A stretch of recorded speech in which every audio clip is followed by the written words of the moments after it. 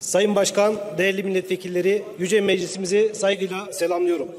İşsizlik gerçek anlamda bu ülkenin kanayan yarası. Yara kanıyor ama iktidar merhem olmaya çare bulamıyor. Size burada işsizlikle ilgili resmi rakamlardan bahsetmeyeceğim. İşsizliğin boyutunu ölçmek istiyorsanız milletvekili olarak her gün sizi kaç kişi arıyor ona bakarsanız yeterli. Yine işsizlik nedeniyle intihar eden gençlerimize bakarsanız o zaman görürsünüz. Uzaya astronot gönderiyoruz ama daha geçen gün İstanbul Teknik Üniversitesi Uzay Mühendisliği Bölümü mezunu Okan Bayram işsiz olduğu için intihar etti. İktidarınız işsizler ordusu yarattı, yaratmaya da devam ediyor. Öğretmenler, sağlık mezunları, mühendisler atama bekliyor. Seslerini duyurmaya çalışıyor. Ama ne duyan var ne gören var. Size önerim sokağa çıkın ve vatandaşın halini görün.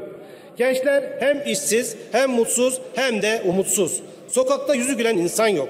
Emeklilerimiz torun sevip tatil yapmak yerine sayenizde yaşamını sürdürmek için çalışmak zorunda kalıyor. Çocuklarımız dahi kuru simite, tosta muhtaç kaldı. Kantine gidemez hale geldiler. Açlık sınırının 14 bin lira olduğu ülkemizde 3 milyondan fazla emeklimizi açlığa mahkum ettiniz. Bizim en düşük emekli maaşı asgari ücrete eşitlensin önerimizi görmezden geldiniz. Şunu bilin, en düşük emekli maaşı asgari ücrete eşitlenene kadar mücadelemiz devam edecek. Değerli milletvekilleri, AKP demek vatandaşı seçim döneminde hatırlayan, sonrasında unutan demek. Bakın sizlere Çorum'dan birkaç örnek vereceğim. Çorumlular yıllardır hızlı tren havalanı vaadiyle kandırılıyor. Çorumlular kandıranlar arasında Cumhurbaşkanı, Ulaştırma Bakanı, AKP milletvekilleri, AKP belediye başkanı, AKP il başkanları da var. Her seçim öncesi havalimanı, demiryolu, acemi birliği, polis moral eğitim merkezi, tarımsal sulama göleti, devlet hastanesi, doktor ataması gibi onlarca söz veriyorlar. Seçim geçiyor, hepsi unutuluyor. Cumhurbaşkanı Erdoğan, Çorum'un hızlı treni benim sayemde olacak, bu, bu işi bizzat takip edeceğim diye Çorum'da söz verdi. Buna karşın 2004, 2024 yılın yatırım programında hızlı tren projesi için sadece 2 TL, 2000 TL kaynak aktarıldı. Her yıl bu miktarda bir ödenek ayrılırsa Kırıkkale Çorum hızlı tren, tren projemiz 23 milyon 238 bin yıl sonra Çorum'a ancak gelebilecek. Eski Bakan Süleyman Soylu son genel seçimlerde Çorum'a bir müjde verdi. Havalanını biz yapacağız. O da yalan çıktı. 27 yıl, 27 yıl önce temeli atılan Çorum Havalanı AKP iktidarı döneminde yatırım programından çıkartıldığını o da bilmiyordu. Bunu Çorumlulardan 21 yıldır gizleyen AKP milletvekilleri bu soruna ne zaman çare bulacaklar çok merak ediyoruz. İhracatı ve nüfusu Çorum'dan az olan komşillere havalanı yaptınız, hızlı tren getirdiniz. Çorum'u yok saydınız ve kandırdınız. Çorum'un suçu Cumhurbaşkanlığının olmayışı mı, bakanımızın olmaması mı? Öte yandan Cumhur İttifakı'nın Çorum milletvekilliği milletvekilleri Aralık ayında bir ortak basın açıklaması yaptılar. Orada dediler ki polis moral eğitim merkezi ihalesi 12 Ocak 2024 saat 10.30'da yapılacak müjde dediler. Ama ihale yok. Kamuoyuna bir açıklama gereği bile duymuyorlar. 1994 yılında temel atılan o dönemin parasıyla 8 milyon TL harcama yapılarak %80'i bitirilen ancak hizmete açılmadan kaderine terk edilen 25 yıldır da bir çivi dahi çakılmayan Çorum Moral Polis Eğitim Merkezi çürümeye yüz tuttu. Yani bu sözleri de yalan çıktı. Saygıdeğer milletvekilleri, Çorum'a 7 yıldır devlet hastanesi yok. İhalesi nihayet 13 Kasım 2023'te yapıldı. Sevindik ama hala yer tahsisi yapılmadı. Sözün özü, iktidarın Çorumlara verip tutmadığı söz ve yalandan uzaya çıkan ilk astronotumuz Alper Gezer e, gücünün mekine kadar yol alır. Emeklilerimiz, memurlarımız, işçilerimiz, çiftçilerimiz, işsiz gençlerimiz, atanamayan öğretmenlerimiz, mühendislerimiz, sağlıkçılarımız, bizim prim sözü verdiğiniz esnafımız, staj ve çıraklık mağdurlarımız ve ferasetli halkımız artık yeter deyin ve 31 Mart yerel seçimlerinde sözünde durmayan bu iktidara kırmızı kartımızı gösterin. Genel kurulu saygıyla selamlıyorum. Sayın Başkan, değerli milletvekilleri, 91 sıra sayılı kanunla ilgili grubumuz adına görüşümüzü açıklamak üzere kürsüye gelmiş bulunmaktayım.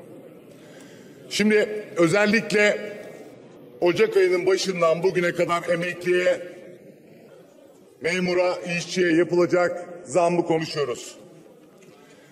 Ve şunu söyleyeyim ki taksit taksit ızdırap çektire çektire emekliye işçiye zam yaptınız. Değerli arkadaşlar, TÜİK 3 Ocak'ta enflasyon rakamlarını açıkladı. Tamamen sahte, gerçekleri ortaya koymayan bir rakamı sarayın talimatıyla açıklamak zorunda kaldı. Ve ilk zam 37.57 yapıldı. Ve 7500 lira olan en düşük emekli maaşını 10 bin lira yaptınız. Daha sonra beyefendi vicdana geldi 42 yapıyorum dedi. Cebinden veriyor ya. Daha sonra bu komisyonda plan bütçedeki arkadaşlarıma çok teşekkür ediyorum. Yoğun bir mücadele verdiler. Emeklinin sesini, emeklinin durumunu ortaya koydular ve yüzde 49'a çıktı. Büyük bir lütuf gibi. Ve ilk zamda üzülerek söylüyorum bakın yüzde 42'ye çıktığı zaman Cumhurbaşkanı dedi ki bunun bize maliyeti 45 milyar. Yahu Demirören grubunun Ziraat Bankası ve Vakıf Bank'tan çekip 5 yıldır ödemediği kredinin devlete halka maliyeti 55 milyar.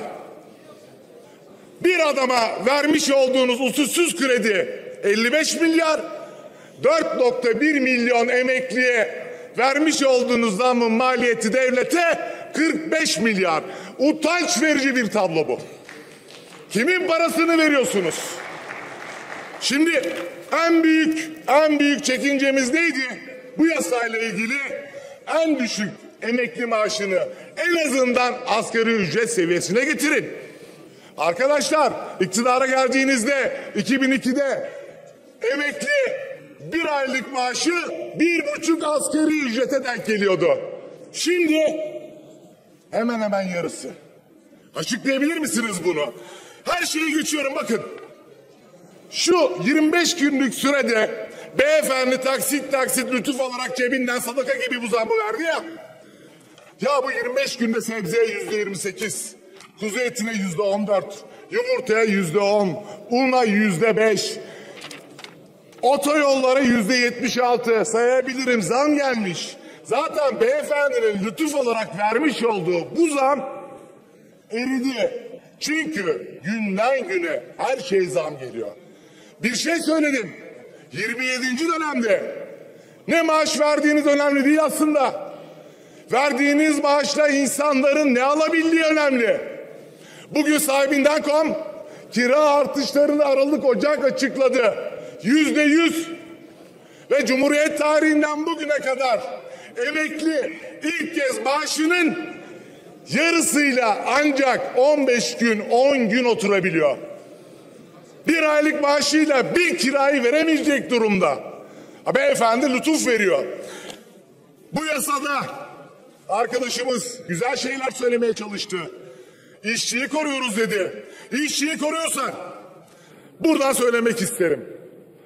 İş kazalarında ve iş yeri denetimlerinde oranın denetimi niye mülkiye amirin rızasına bırakılıyor? İşte çocuklar ölüyor. Her gün bir çocuk ölüyor.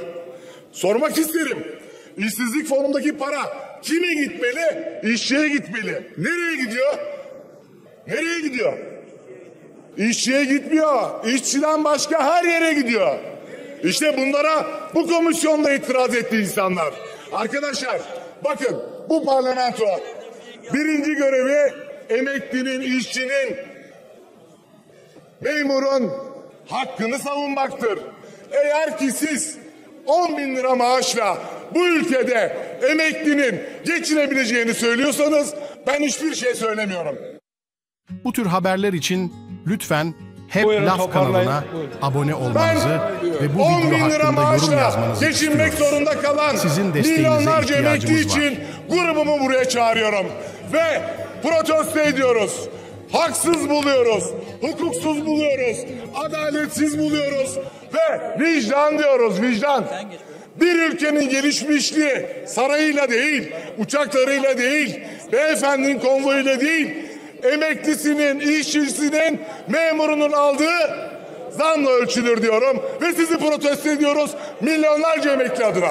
teklifin oynamaya kafidir. Açık oylamanın elektronik sistemle yapılmasını oylarınıza sunuyorum. Kabul edenler, kabul etmeyenler kabul edilmiştir. Oylama için 3 dakika süre vereceğim.